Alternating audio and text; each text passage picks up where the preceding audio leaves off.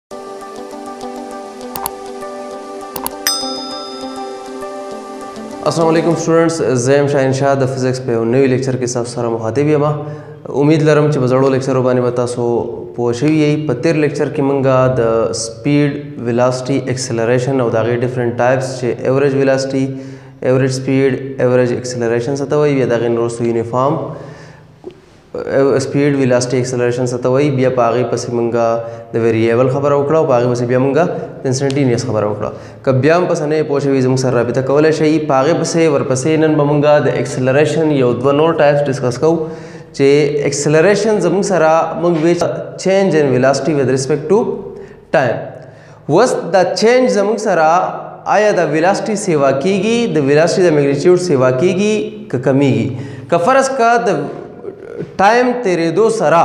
د ویلاسټي میګنیټیوډ سیوا کیږي لکه فرض کا په 20 میټر پر سیکنډ باندې یو غاډه روان دی سو وخت بعد 23 میټر پر سیکنډ شو بیا 26 میټر پر سیکنډ شو په خواتلو سو وخت بعد 30 میټر پر سیکنډ مطلب پدې کې پازیټیو چینج راځي پدې کې سره راځي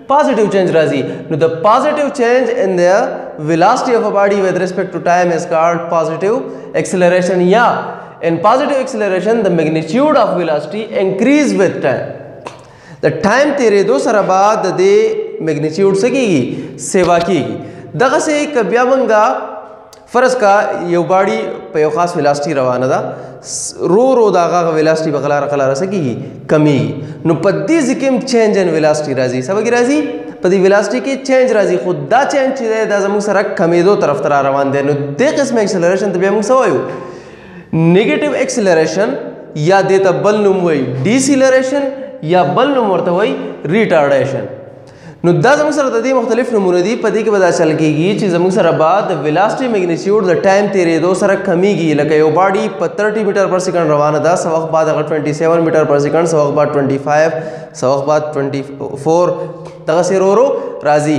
نو دا چې کله په دې ویلاسټي کې چینج راځي خو دا چینج کمیدو طرف ته ځي مطلب د ډیر نه کم طرف ته راځي نه دي ته بیا موږ نیگیټیو اکسلریشن ورته وایو ورته وایو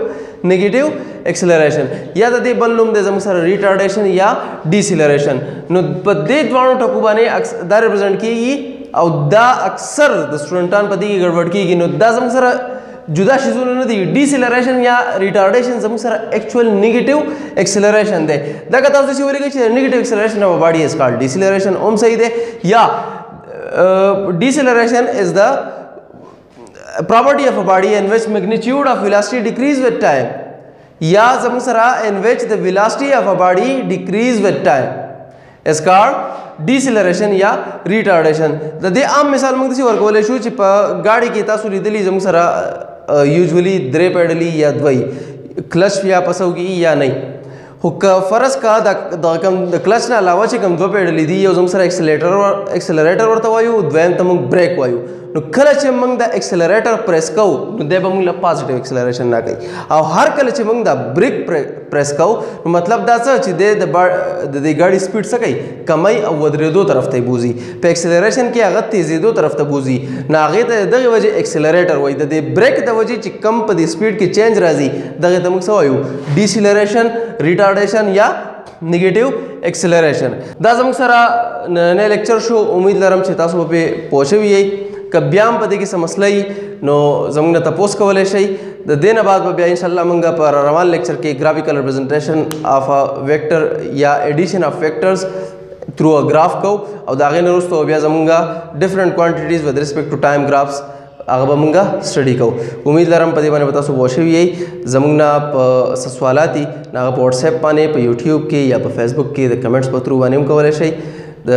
را روان لیکچر پورې مال اجازه راکړئ د الله په امان